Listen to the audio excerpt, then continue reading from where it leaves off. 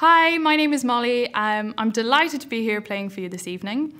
I've chosen three pieces to play, and these pieces span over 300 years of violin writing. Um, I chose these pieces because they push the violin and they push me as a violinist in different ways that I think is exciting to share with the audience. So, for example, starting with Mná na hÉireann, um, it's a traditional Irish air that was composed by Sean Ó Riada. Of course, 2021 is the 50th anniversary of Sean Ó Riada's death, and in that time, Mná na hÉireann has played a huge role in Sean Ó Riada's legacy, from inspiring Kate Bush to Levi Jeans adverts. Um, so I find this piece really, really inspiring to play because it pushes me in all sorts of ways as a classically trained violinist to be comfortable in a traditional repertoire.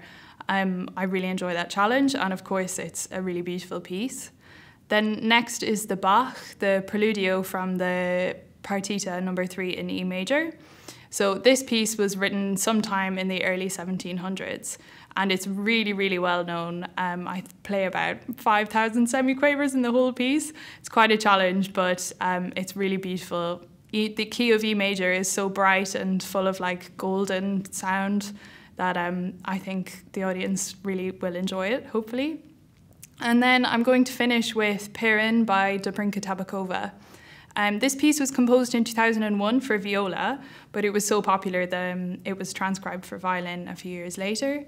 Um, Dobrinka is a Bulgarian composer, and she wrote this piece about a, a mountain near where she grew up in Bulgaria. Um, and the compositional techniques that she uses try to emulate the sound of a gadulka, which is a folk Bulgarian instrument.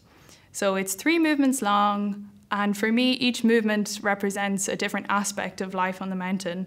Um, and I find it really fun to try and convey that to the audience. So I hope they enjoy that one too. I'd like to say thank you to Irish Heritage for supporting me in so many different ways over the last couple of years.